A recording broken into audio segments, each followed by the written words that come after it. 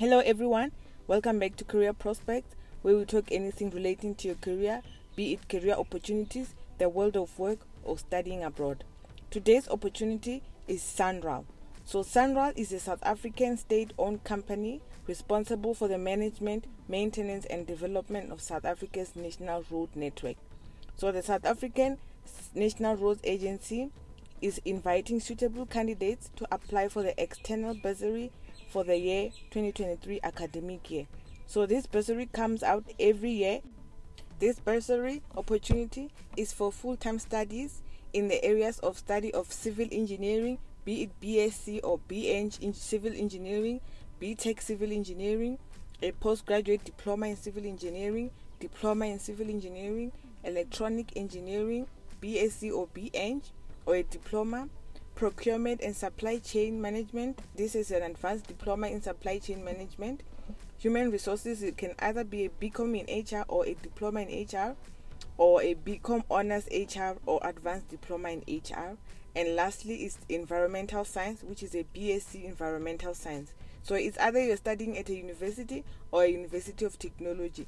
So if you're applying, if you're in matric, best you apply for both university and University of Technology in one of these fields so that you can qualify for this opportunity. So these are the requirements that you have to meet.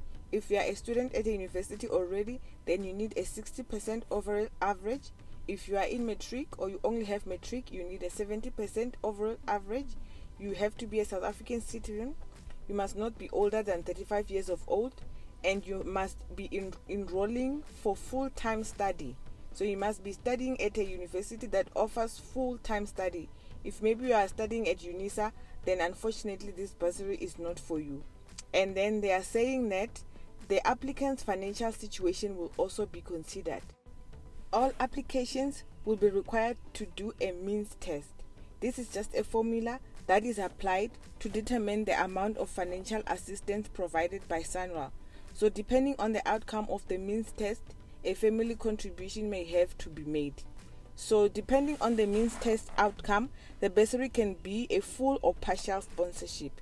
So, if it's a full bursary, then they cover registration and tuition, accommodation, study material and equipment, food, living allowance, and access to a wellness program. And if it's a partial bursary, then they will cover registration and tuition, accommodation, and access to wellness program. So if you are shortlisted, then they will invite you for interviews. If you are successful, then they will issue you with an award letter. So always check your emails. And if you do not receive any correspondence from them by 31st January of the following year, then consider your application as unsuccessful. Applications are closing on the 30th of September. You have to include the following documents with your application form. So it's a CV, certified copies of Term 1 and Term 2 results if you are in high school, or your full academic record if you are already at a tertiary institution. You also have to submit a certified copy of your South African ID document. You also have to write a motivation letter from the applicant. Uh, they say it must be one or two pages. You have to also include your parents or guardians' certified copy of ID, your parents or guardians' proof of income, and then if your application form is incomplete, then you will automatically be disqualified. So the letter of motivation is just a two pager telling them about yourself and motivating why you would like to become a Sanral bursary holder. Also include your parents or guardians' water and electricity bill from the council and then the proof of income or sworn affidavit. If parents are self employed in the informal sector or they work from home, then you must submit an affidavit on the amount that they earn. Late applications will not be considered, so please submit the application before the 30th of September because if you submit after the 30th of September, then unfortunately your application will not be considered because it will be late. Remember, you have to be a South African citizen because they're going to require you to also um, attach your certified copy of your ID just to show that you are indeed a South African citizen. And then, uh, if your application form is incomplete and inaccurate, then it will also be disqualified. So please make sure that the application form is filled completely.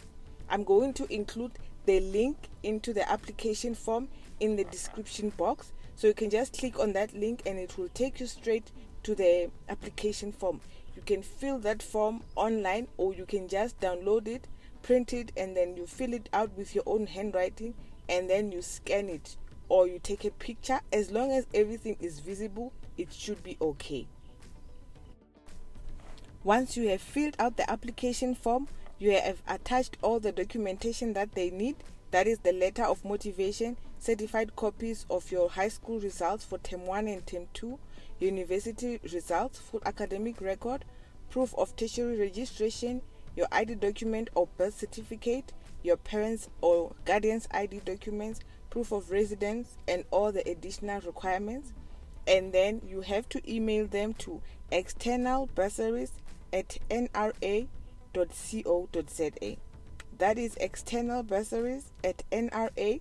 But don't worry, I'll also include this link in the description box. If maybe you are struggling with the application form, then there are also important contact details that you should note of. If you are struggling, you can call the number or you can send an email to the email address that I will include in the description box. So always check my description box. Every time I talk about something, your go to place should always be my description box. And then if you have any questions, remember just drop me a comment in the comment section.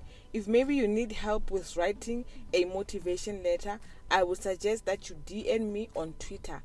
I'm mostly active on Twitter, so if you send me a DM on Twitter, then I will respond. But then also on my email, I also respond. So you can also send me an email if you need help with your motivation letter. So this bursary is awarded to you from the day they award it to you until the day you complete your qualification.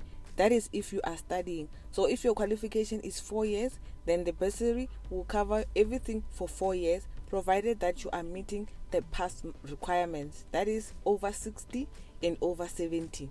So please, if you are in university, you are in high school, don't aim for the pass mark. Always aim for 70% so that these kind of opportunities they don't pass you by.